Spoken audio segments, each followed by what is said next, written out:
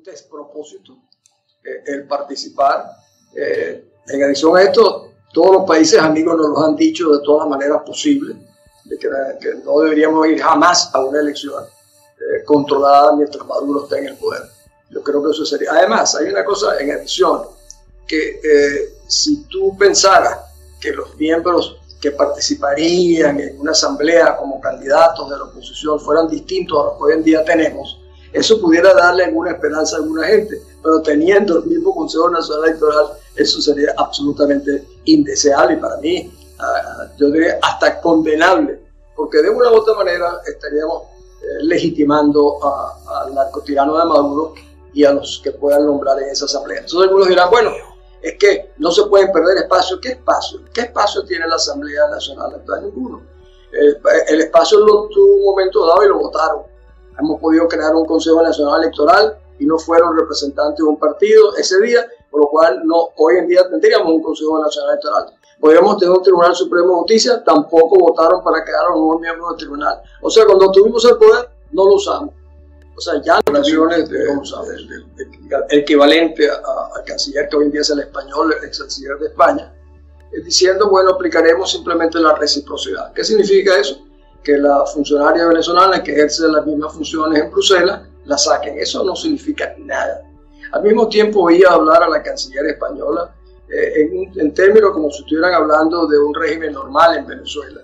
Yo creo que la verdad, si los europeos realmente quisieran adoptar sanciones firmes sobre Venezuela, podrían suspender las relaciones con Venezuela, dejarlas a nivel consular y retirar sus embajadores. No lo van a hacer. Eh, de repente algunos alguno que otro país lo pudieran hacer. De hecho, me di cuenta que Inglaterra, el Reino Unido, el primero que, el primero que hicieron fue decir que iban a aplicar las mismas sanciones que habían aplicado en Bruselas, a pesar de que ellos tenían las propias. Eh, lamentablemente no, no, veo a Europa haciendo eso, no lo han hecho ni por ellos mismos, cuando tuvieron conflictos internos, muy poco creo que lo van a hacer por ellos. Era natural y obligatorio, ¿cómo no lo van a hacer? Este, no, no, le asigno mayor, eh, personalmente, mayor trascendencia que la de decir, seguimos siendo solidarios, eh, eh, esto es algo condenable, con lo cual en el fondo estaría animándolos a que hagan algo más. Sin embargo, recuerden que son 27 países los que integran la comunidad y, operan en consenso, un poco como nos pasa casi en la OEA nosotros mismos. No, yo me encantaría pensar que, además aún yo el primer día dije, espero que la Unión Europea, eh, de, una u otra manera, eh, haga que sus países integrantes retiren o suspendan sus relaciones con Venezuela.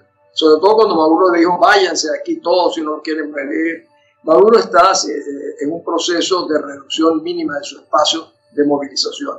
Yo aprovecharía para decirle a, a, sus jerarcas y sobre todo a las Fuerzas Armadas venezolanas cómo el mundo se le está reduciendo de una manera impresionante.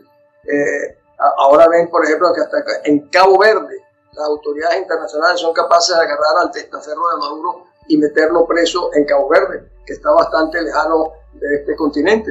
O sea, las posibilidades de movilización de este régimen cada vez son menores, más peligrosas, y yo creo que muchos comenzarán internamente los jerarcas a pensar qué va a ser de mi vida en el futuro, de mi familia, dónde me voy a mover, a qué espacio puedo ocupar, dónde puedo llegar. Y yo creo que es un tema que nosotros debiéramos permanentemente poner en la mente de estos jerarcas civiles y militares que hoy en día tienen secuestrada Venezuela.